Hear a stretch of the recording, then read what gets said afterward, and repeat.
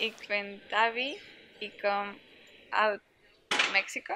I take like very engineering stuff, like for example a simulation that is we use a program to simulate uh, different scenarios of a company, and we, we have to like human resources. Change management is called a course, and it's really cool because they teach us how to adapt to change and we learn to use statistics and learn how to interpret data. Everything is interesting. Project is one from Erasmus. Uh, we are here in Windesheim and what we're trying to do is to disseminate or spread the word about uh, CCL, that is co-creative learning. That is a new strategy for students to learn in another way.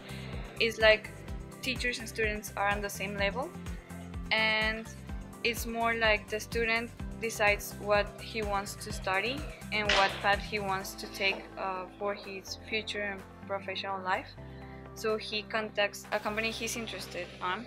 So he guides his way, and the teacher is just like a information broker. He's not just a teacher.